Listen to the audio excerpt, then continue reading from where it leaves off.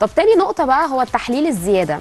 إن أنا أفضل لما الموقف أو القرار يبقى قدامي أقعد أفكر كتير قوي بديله أكبر من حجمه بكتير وأقعد أحط كل الافتراضات والاحتمالات قدامي لدرجة إنه بيحصل تشويش في دماغي ما بين الصح وما بين الغلط.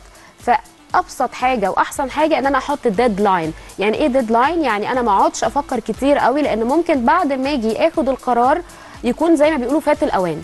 إنه ما- ملوش قيمة ملوش لازمة. زي مثلا لو واحد معروض عليه شغل جديد وهو في شغله مبسوط ومستريح لكن آه، آه، أحسن. انتقاله للشغل ال offer مش قوي قوي ولكن ممكن على المدى البعيد يبقى أحسن له.